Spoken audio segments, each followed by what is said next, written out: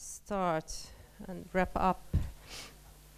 We thought that that since there has been now six workshops, and we have a very short time to sort of uh, wrap them up, so we thought that that, that it would be easiest if we we just conclude. I will conclude five of them, and, and you will conclude your own workshop. And uh, and and please, I I, have uh, obviously only been to one of the workshops, so so uh, if I say something wrong, then then it's my um, yeah. It's anyway uh, my own workshop, uh, writers unions and multilingualism, um, with with an introduction by Kerstin Bennett. Um, one of the things that we discussed very much was that um, that we should start to focus on quality rather than language. N not to see the langu language uh, multilingualism, la language diversity as some kind of a sort of threshold. We, we need to just to make solutions to, to make it easier, but, but focus when, when we evaluate books. Uh, the entrance for becoming a member of a union should be the quality of the work, not the language of the work. So, the focus should be on the literary quality, regardless of, of language. And that should be the, the most important thing. Uh, another thing that we we discussed uh, was that that actually we sh we should still talk about language because with all the multilingualism of the writers unions there is a great possibility for every writer in the union to to get their works you have an arabic writer that that's his an entrance also to a huge world outside of Scandinavia, outside of the Nordic countries. So with the multilingualism of the writers' unions, we also open up the writers' unions for an international yeah, audience, which is very important. And then the third point that we discussed was that, that the unions, uh, the information about what the unions are and for whom and how they, they work should be more open and more accessible so that people who are not familiar with, for example, the, the, the literary field in, in, in different Nordic countries uh, can know how the union functions and that you can actually also be a, a writer without being a member of a union because in all different countries of the world we have different the unions have different roles so so it's very important that we open up explain what the unions are and for whom. Okay, and then the second group was multilingual networks uh, of and for writers, and, and Annika will. Thank you. Thank you. we were discussing actually three things. The first thing is how do we connect multilingual network to the mainstream?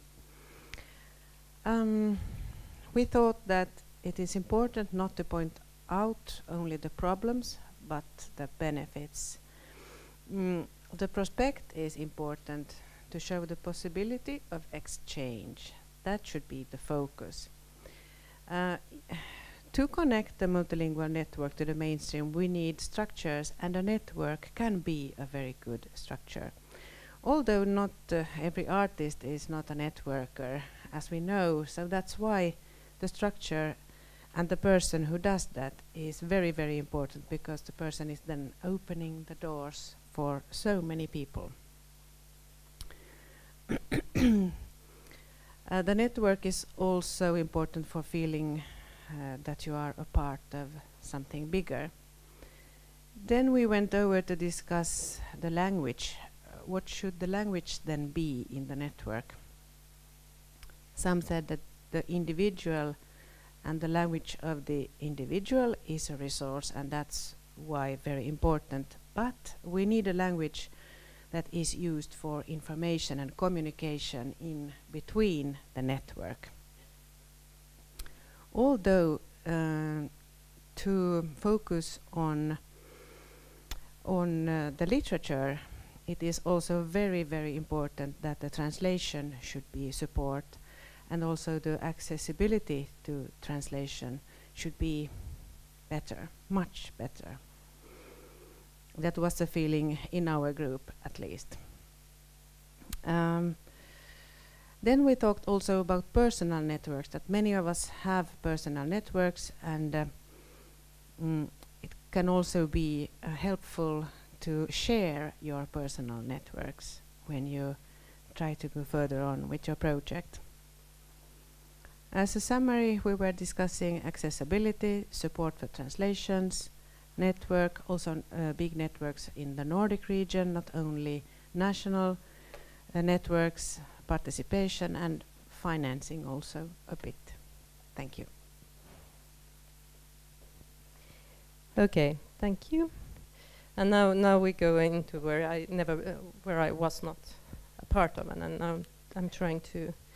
Uh, the third group, grants and multilingualism, and the introduction was done by Jesper Söderström from Sveriges Författarfond, the Swedish uh, Writers uh, Foundation. I can't remember. Uh, one of the things that they were discussing is that uh, it's important to have uh, a Nordic, um, um, yeah, uh, Nordic plat or um, I forget pool, a Nordic pool of of uh, of um, um, people, who, a reviewer, literary reviewer, people who can review the texts, the works. I think that we also think that it's very important.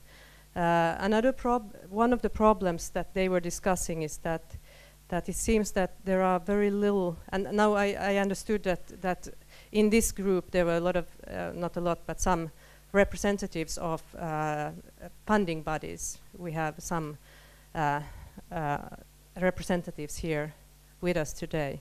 Um, and they, uh, there was a, there's not so many applications.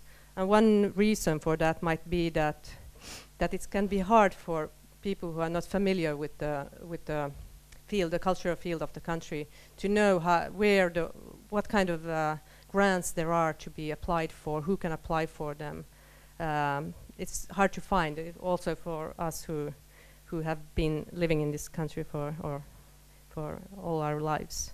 There's so many different places to apply for money and different kind of criteria, and it can be hard. And that's why we need more information about how to apply and to, to sort of get the information in different languages as well. And then uh, the and also that we, we, yeah to to see that that it's not only in the dominant language but also maybe in English or other languages. And then the third one uh, point they had is that uh,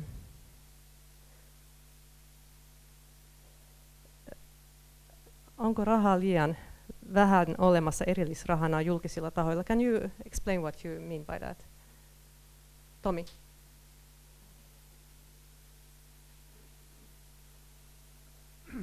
We were talking about, uh, uh, especially in, in public grants, if there should be a separate money for for non-national uh, writers and, and also non-national other uh, artists in general and whether whether this kind of um, because in Finland, as we know, in in the Finnish uh, art promotion center, there is a special fund for uh, multicultural artists, and this uh, this money at this moment is not so big. And we were talking about if it would be bigger, uh, would it, would there be more applicants? Also, that was a case. Thank you.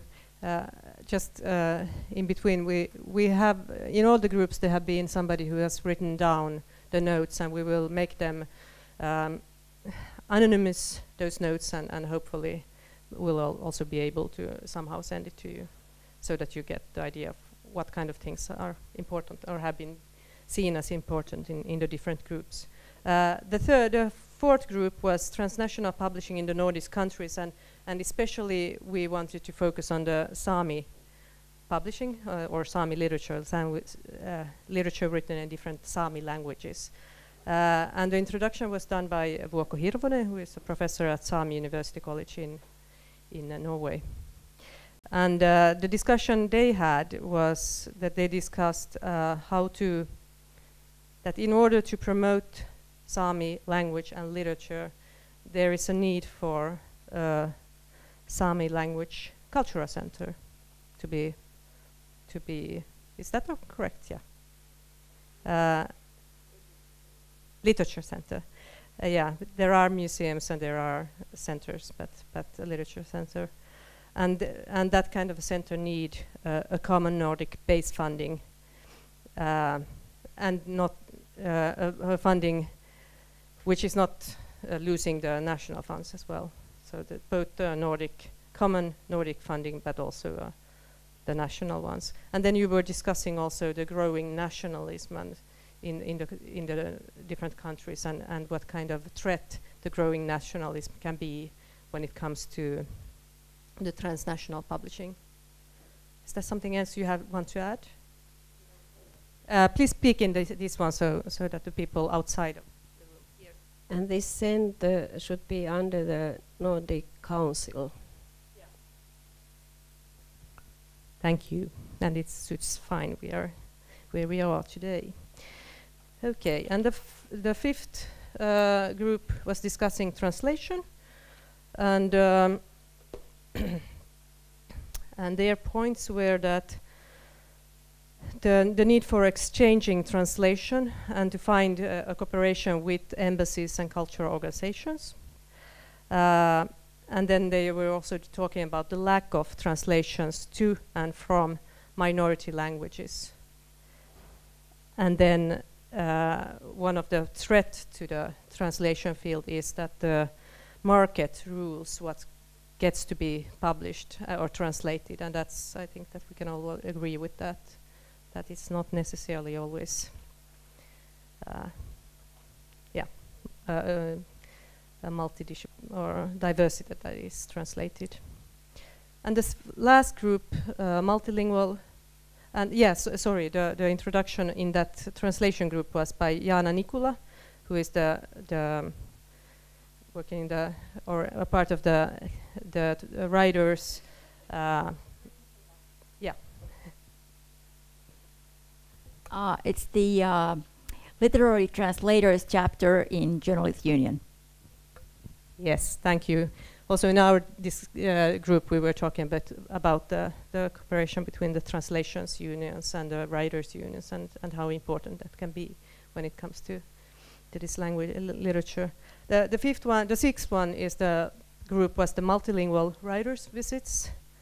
Uh, and uh, the introduction was made by Ilmi Villacís, who is the director of the Finnish Reading Center.